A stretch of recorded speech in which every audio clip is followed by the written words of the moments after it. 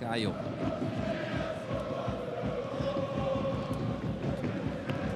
Michael Lang. Kopfball von Skelchen Koshi. Doch noch ein kleiner Aufreger vor der Pause. Auch ohne Einfluss aufs Spiel, auch heute bisher mit einer sehr diskreten Leistung. Delgado, der die Form einfach nicht findet. Jetzt die Chance für GC und das 1 zu 0 für die Zürcher.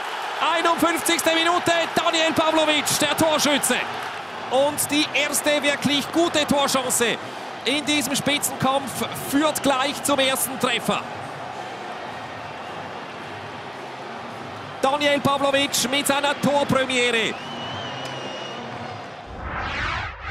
Netzigrund gegen GC bei einem 0 zu 1.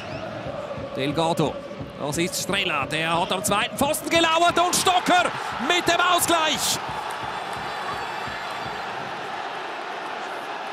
57. Minute, ein Traumtor von Valentin Stocker zum 1 zu 1.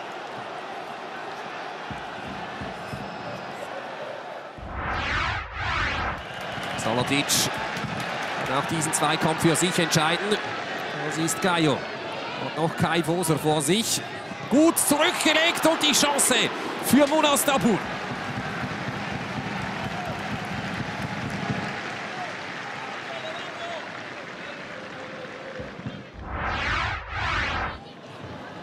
Wieder Daniel Pavlovic.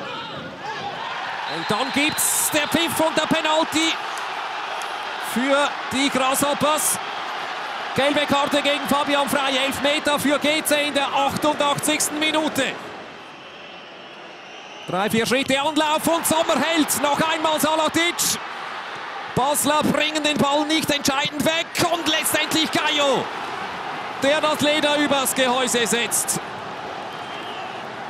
Sommer, der gefeierte Mann, Salatic verschießt.